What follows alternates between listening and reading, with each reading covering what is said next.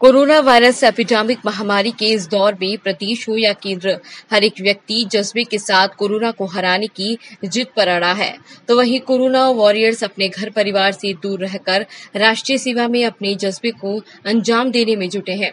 ऐसी ही एक घटना ग्यारहवीं आरएसी बटालियन के रविंद्र सिंह, जिसकी दो साल की बेटी ने कहा था कि पापा, इस बार मैं अपना बर्थडे आपके साथ मनाऊँगी। उसे नहीं पता था कि कोरोना की दस्तक देश में इस कदर से होगी कि उसे आमजन के सहयोग से वीडियो कॉलिंग के ज़रिए पिता के साथ जन्मदिन सेलिब्रेट करना होगा।